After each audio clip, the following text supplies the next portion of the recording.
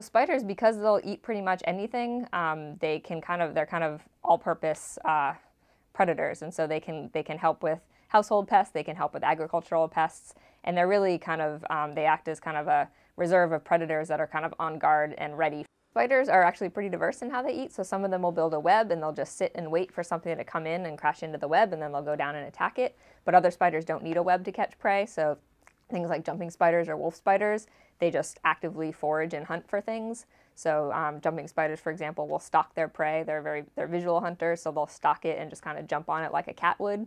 Spitting spiders are common in Florida, and they actually will stalk their prey and spit a sticky glue onto the prey, which immobilizes it, and then they'll go in and feed on it. So that's a pretty different strategy than a lot of other spiders use.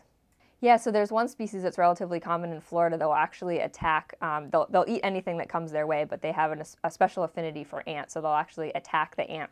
So if you don't like ants in your home, having a couple of these spiders around is pretty great.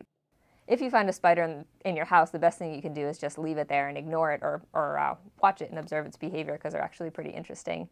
Um, most spiders are not harmful in any way. If you don't necessarily like to share your living space with spiders, you can just kind of take a little cup put it in a cup and bring it outside. Yeah, so really any spiders are a benefit to have in your garden. Um, you know, if the, the best thing, the best case scenario would be to have um, a community of spiders in your garden. So you'll have some that are building webs and catching the flying things. You'll have other ones that are kind of running around on the ground in the garden that are catching pests that might be walking on the ground.